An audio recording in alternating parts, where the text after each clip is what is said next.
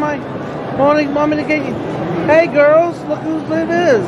It's the Lord.